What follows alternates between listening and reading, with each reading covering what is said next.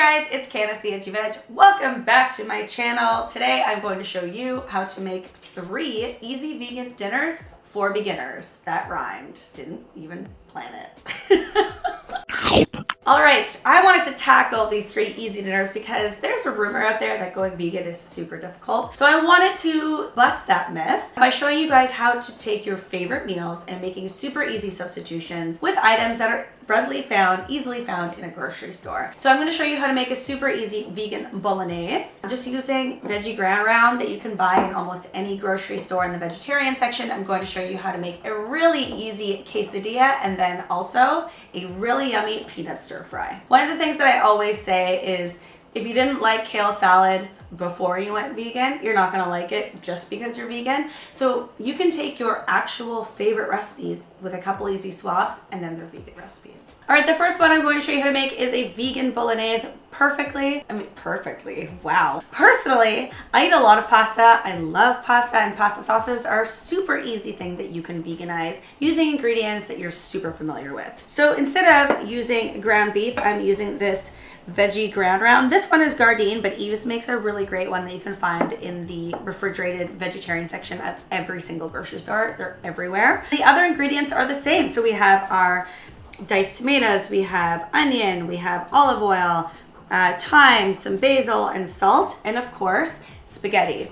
And the thing about pasta is most dried pastas are accidentally vegan. Definitely check your labels, but I would say like 98% of dried pastas are vegan. I have my pasta cooking right here. I'm using spaghetti today. So in another pot, I'm just going to heat up three tablespoons of olive oil. And then when that's warm, and I'm using about medium high heat, I'm going to add in one chopped onion. You can use any onion that you want for this really. This is white onion, you can use a cooking onion. Um, but yeah, just kind of eyeball that. Mix that all together. We're going to let that cook for about three minutes and then we are going to add the garlic. Pasta's ready to go. I'm just going to drain that and not rinse it. Step one, super easy. all right, it's been about three minutes. I'm going to crush three garlic cloves right into the pot. So I'm going to cook this for another about two minutes one to two minutes until it's fragrant and you can really smell that garlic. All right, I'm adding a little pinch of salt and I'm doing this bolognese recipe without the traditional mirepoix, which is carrots and celery, just to make it super, super easy. If you have a more traditional bolognese family recipe that you love to make, you can just use these easy substitutions to follow your own recipe. But in the uh, spirit of making it super easy, I'm relieving you from chopping a bunch of vegetables. All right, I can really smell that garlic. So now I'm going to add the veggie ground round. This is about two cups, and you just want to cook that until it's heated through. I'm also going to add a quarter teaspoon of thyme and some fresh cut basil. And just throw things around.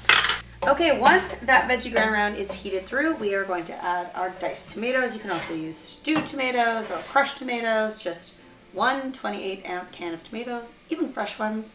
You can use that. I've done that if I have some tomatoes that I need to use. Uh, it doesn't really matter. Just make sure it's tomatoes.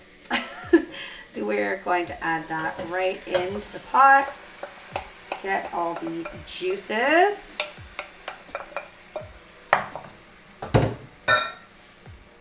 And then mix that together.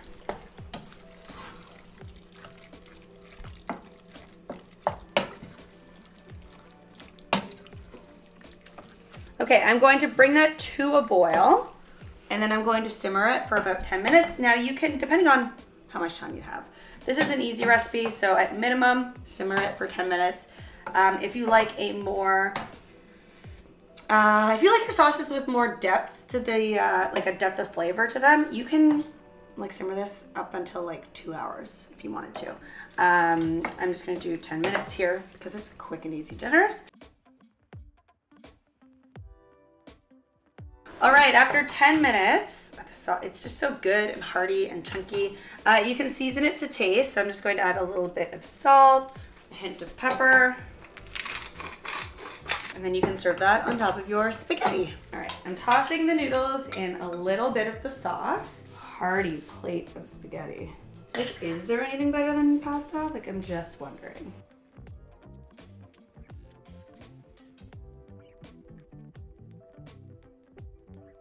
Easy dinner for beginner number two is a super simple peanut stir fry. You can throw this together in a matter of minutes. It's like from start to finish. 10 to 15 minutes, the easiest dinner ever. And again, it's just using a couple swaps. So for a protein, you can use any tofu that you love. I'm using a smoked tofu. And then the rest of the ingredients are more or less the same.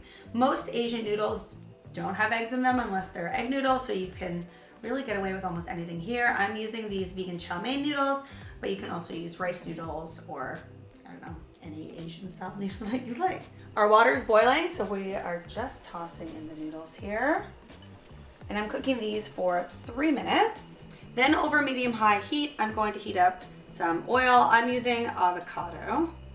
Uh, you can use coconut, you can use canola, any cooking oil that you like to use. I'm going to add in some chopped onion and let that cook until translucent, about three minutes over, whoops, medium-high heat. And now we wait again. I'm going to throw together a quick peanut sauce. I'm going to add some soy sauce, rice vinegar, sesame oil. I have some dried ginger and some garlic powder here. And then of course, some peanut butter. Can't very well have a peanut butter sauce without the peanut butter. I'm going to mix that all together. If you're having issues mixing the peanut butter with everything else, you can add a little bit of hot water from the, uh, the noodles, actually, and mix that together. All right. You can also do this if you have like a tiny blender, like a magic bullet or something. Just whiz it all together in there. Super easy. But with some good old fashioned elbow grease, you will have a sauce in no time. See? Going to add some red pepper, some chopped carrots. And for the sake of speed, I'm going to add the tofu in here as well. I'm going to cook these just until the vegetables are tender and the tofu is heated through. I like a good crunchy carrot in my stir fry.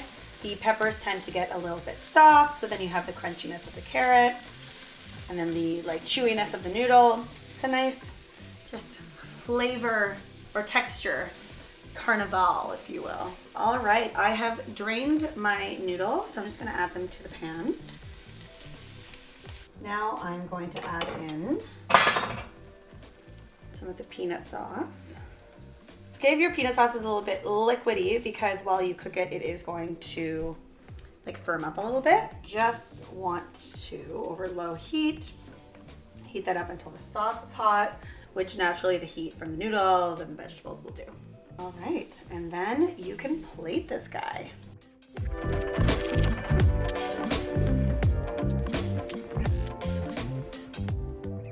Dinner number three is a mushroom and spinach quesadilla. Super simple to make, super delicious. Um, instead of meat, we are using mushrooms because mushrooms are nice and meaty. You can use any mushroom that you want. I just love portobellos. So it's almost like a vegan take on like a steak quesadilla except we are going to add some spinach, some avocado, some cilantro. And for the cheese, I'm just using this pizza style vegan shreds. You can use any brand that you want. I'm using Embor today, but Daiya's readily available in the grocery store. Follow Your Heart is readily available in the grocery store. Or you can leave this cheese out completely because you do have the creaminess of the avocado. Okay, first thing I'm going to do is heat up some olive oil in a pan. We are going to cook some red onions.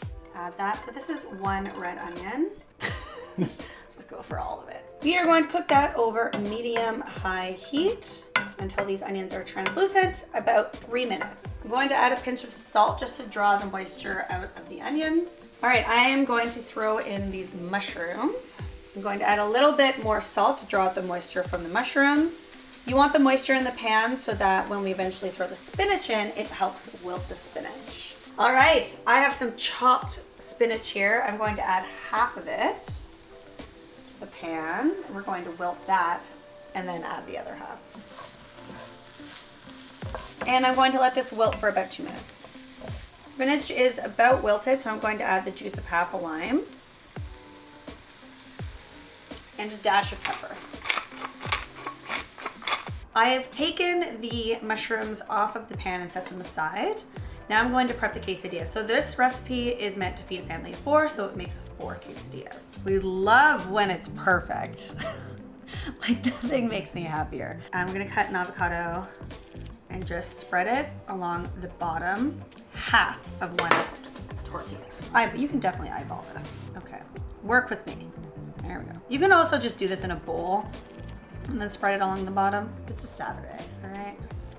My brain is elsewhere. If you want a lot, you can add a lot, but I just find if you add too much avocado, then that mixed with the cheese, it's almost like too creamy almost. Keep a little bit of room here on the side because the cheese is going to melt and everything's going to kind of squish out that way. Then I'm going to add, again, on half of this, I'm going to add the mushroom and spinach mixture.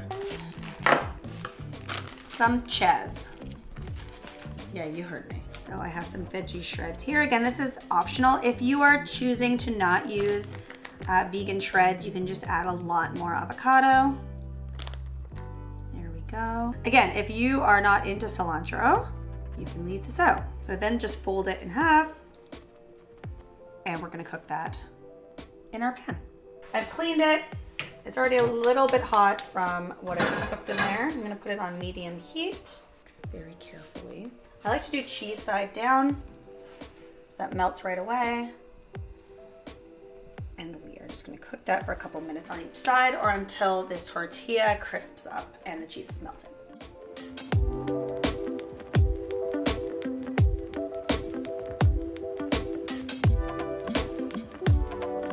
All right, guys, there you have it. Three delicious vegan dinners in under 15 minutes for beginners.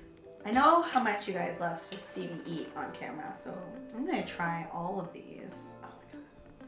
Starting with, there's a lot of carbs happening in here. I'm all for it. Love, love, love. So I add a little bit of peanut sauce on top, as well as mixing it in with the noodle. Mm. Oh good. See guys, this is why I don't eat on camera. It's creamy, it has that peanut flavor. The vegetables add a nice crunch tofu because I use smoked tofu. It has like just this nice chewy texture as well. If you like heat, you can add some chili sauce sriracha. It's very tasty. Like marathon eating happening here. All right, we have the mushroom quesadilla. Oh my God, I love mushrooms so much. This is so good. There's a little zest of lime. It's creamy. It's like a steak fajita or quesadilla. You can serve it with some uh, vegan sour cream or some salsa or some guac. Mm. Mm. Mm. Oh my god.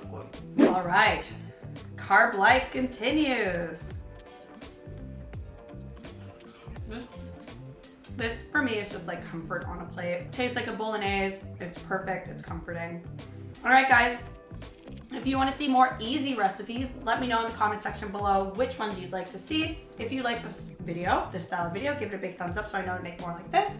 And if you're new here, hit that subscribe button and the bell notification so you don't miss out on new videos every single week. And I'll see you next time.